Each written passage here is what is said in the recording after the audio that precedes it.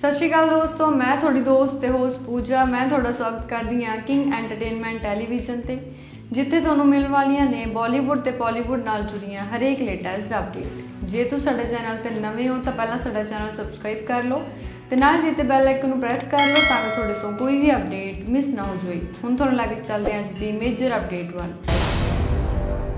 ਇਹ ਅਪਡੇਟ ਸਾਨੂੰ ਦਿੱਤੀ ਗਈ ਪੰਜਾਬੀ ਸਿੰਗਰ ਅਰਮਾਨ ਵੱਲੋਂ, ਜਿਨ੍ਹਾਂ ਨੇ ਆਪਣਾ Song ਅਨਾਉਂਸ ਕੀਤਾ ਹੈ ਜਿਸ ਦਾ ਟਾਈਟਲ ਹੈ ਜੱਟ ਬੋਲਦਾ। ਜੇ ਆਪਾਂ ਕ੍ਰੈਡਿਟਸ ਦੀ ਗੱਲ ਕਰੀਏ ਤਾਂ ਇਹ Song ਨੂੰ ਗਾਇਆ ਗਿਆ ਅਰਮਾਨ ਵੱਲੋਂ। ਲਿਰਿਕਸ ਦਿੱਤੇ ਗਏ ਨੇ ਮਨੀ ਰੇਡੂ ਵੱਲੋਂ। ਮੇਲ ਲੀਡ ਦੇ ਵਿੱਚ ਐਕਟ ਕਰਦੇ ਨਜ਼ਰ ਆਉਣਗੇ ਅਰਮਾਨ ਦੇ ਨਾਲ ਮਨੀ ਰੇਡੂ।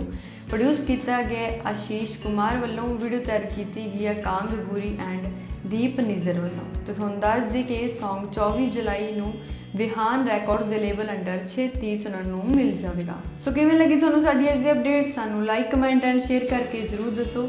ਤੇ ਜੇ ਤੁਸੀਂ ਵੀ ਹੋ ਸਿੰਗਰ ਰਾਈਟਰ ਐਕਟਰ ਜਾਂ ਫਿਰ ਫਿਲਮ ਇੰਡਸਟਰੀ ਨਾਲ ਕਿਤੇ ਨਾ ਕਿਤੇ ਜੁੜੇ ਹੋਏ ਹੋ ਤੇ ਤੁਸੀਂ ਵੀ ਆਪਣੇ ਇੰਟਰਵਿਊ ਕਿੰਗ ਐਂਟਰਟੇਨਮੈਂਟ ਟੈਲੀਵਿਜ਼ਨ ਤੋਂ ਕਰਵਾਉਣਾ ਚਾਹੁੰਦੇ ਹੋ, ਤਾਂ ਹੇਠਾਂ ਦਿੱਤੇ ਨੰਬਰਸ ਤੇ ਕੰਟੈਕਟ ਕਰ ਸਕਦੇ ਹੋ। ਤੇ ਨਾਲ ਦੀ ਨਾਲ ਸਾਡਾ ਚੈਨਲ ਸਬਸਕ੍ਰਾਈਬ ਕਰ ਲਓ ਤਾਂ ਕਿ ਤੁਹਾਡੇ ਤੋਂ ਕੋਈ ਵੀ ਅਪਡੇਟ ਮਿਸ ਨਾ ਹੋ ਜਾਵੇ। Thanks for watching and keep sharing